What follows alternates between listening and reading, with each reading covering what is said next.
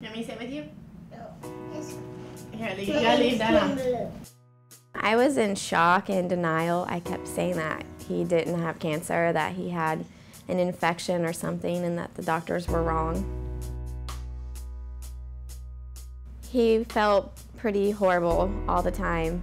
Um, however, a kid that has to go through such intense chemo, Kaedyn did very well. My stepmom saw them coming down the hallway, and typically some somebody like that wouldn't come into a three-year-old's room. I mean, because he's not going to interact with them or really care. Uh, he wasn't, I don't think he was impressed. Uh, most kids, when they meet us, they, oh my gosh, they're so tall, oh my gosh, they're so big, I don't want to do this. Like, they're really shy, but he wasn't shy. He was a little sleepy at first. I think he just woke up from a nap, so he was kind of, you know, had the sleepy eyes, crust in his eyes still thing going on. And he wasn't speaking too much, because I think we, Will and I are probably the tallest guys he's ever seen in his life. And uh, when we finally got him to come out of his shell, he just uh, showed his personality, showed his great imagination. You know, Kaedyn was showing them their muscles and telling them that he couldn't beat, you know, he could beat them up because they weren't as big as him. If you really want to make a connection with a kid like that, you have to be consistent. So I was trying to, you know, see him at least once a week.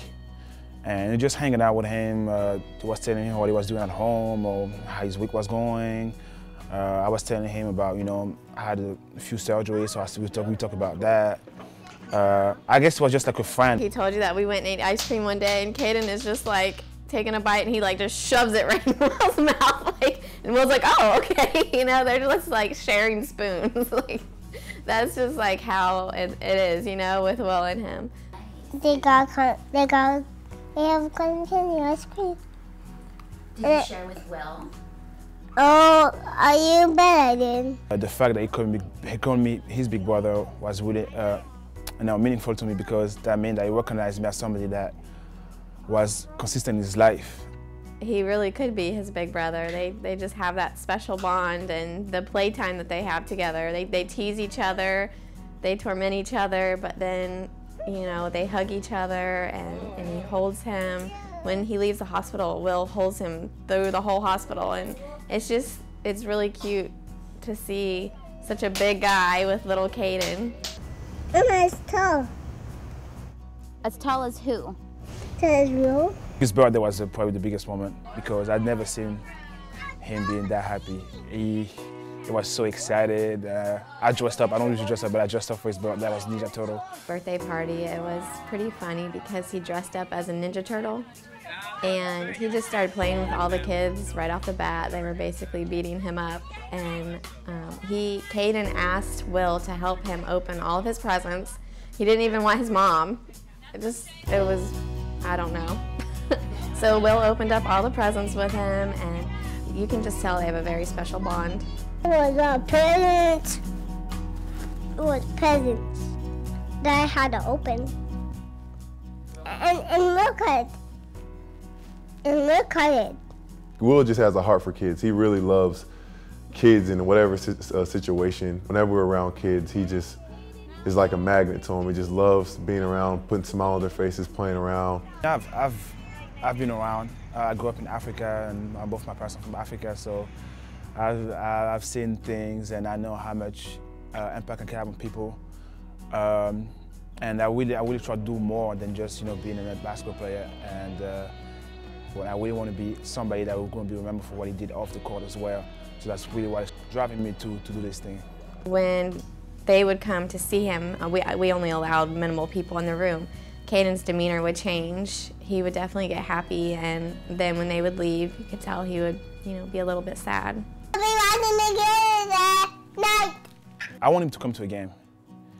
I want him to come to a game. I want him to be able to go to uh, the locker room and just like hang out with me, uh, being out there giving us high five, uh, watching us warm up and stuff like that. And then hopefully I can actually like see him in the stands as I'm playing. You know, I'm really excited for that. Every time he leaves, I give him a thumb down. Every time I lose, give me a thumb down, and when I win, what do you mean when I win? Every time you win, I'll do. Good. You know, we've been been through a lot with him, and I saw him when he was not at his best, and just him being at the game was really, really special. So he, he's got so much better, and now like he has his hair going back now, and uh, he's running around pretty good.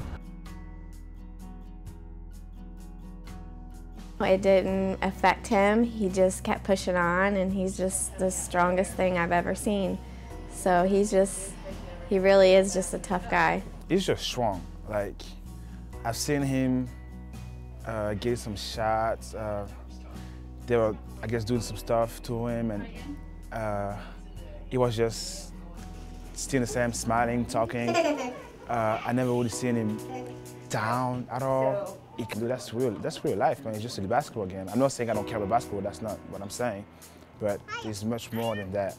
And uh, this is real life stuff. Like losing a kid, losing the basketball game. Come on now, you know. Learned how to be tough in the moment and how to just enjoy life. You know, just a simple walk outside means everything to us now. We spent so many months in the hospital not being able to do that.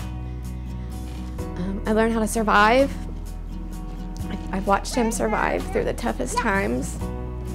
And no matter what happens in life, I think I can survive because of him.